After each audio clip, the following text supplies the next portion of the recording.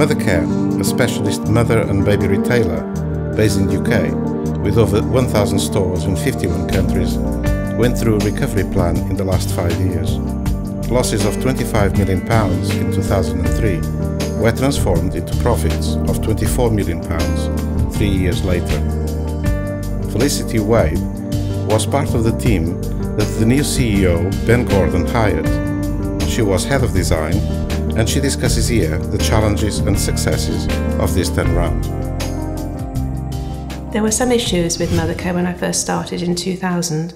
The business was doing less well than it had done, lost its position on strategy. It didn't have enough vision and enough strategy about who the business was and where it wanted to go and how it wanted to develop. We had to re establish what we wanted to do and then we had to make it happen. What traditionally retailers do is they work with something called full service suppliers. The buyers in retail are responsible for being market facing. They need to understand what their customers want and they need to be able to range build. And then they often work with these full service suppliers to brief them. And then the full service supplier, who has its own design teams and its own quality teams, will go and source those products, bring them back to the buyer, who decides if they're right or not. Mothercare was still doing that because some of those suppliers are specialists. In order to rebuild the brand, um, Mothercare decided it needed to develop its own products and it needed to coordinate them more internally and have more of a vision of what it wanted them to look like. So it needed to go directly to factories to do some of this. Now, that is a very different process altogether. You, as a buyer, you are still building the range and you're still customer facing, you need to know what your customer wants. But instead of briefing full service suppliers, you have to be involved in manufacturing the product. So the buyers and designers need to get used to taking real ownership of the products and working very closely with the people in the countries and in the factories to make sure that requirements are clear.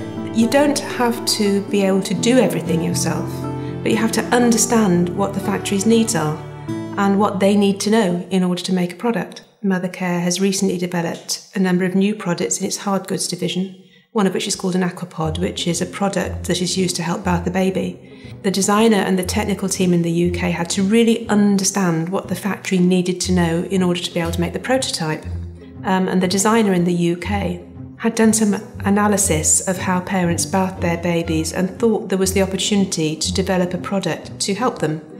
So she developed a design idea which is completely unique. There is nothing like it, nothing else like it in the world. It was absolutely innovative. The designer and the technical team in the UK had to really understand what the factory needed to know in order to be able to make the prototype. So had to be very, very clear about the requirements and the drawings that they did had to be extremely accurate in as much as they could. By the time it became actually available, they had nearly 1,500 people on the waiting list for it. As soon as parents saw it, they understood instantly the benefit and wanted to buy it. And it has been enormously successful. It sort of smashed all the sales um, projections that were put in place for it. Interestingly enough, with PLM systems and new IT developments, it's made it slightly more difficult. It's made things quicker but it's made them slightly more complicated. Formerly work on the designs and take them to the country, hand them over face to face to somebody and have a conversation.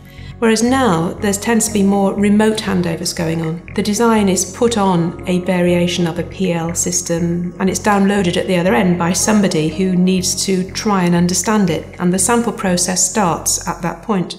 It's even more important to have a good relationship between the retailer and the manufacturer um, and an understanding um, of requirements on both sides.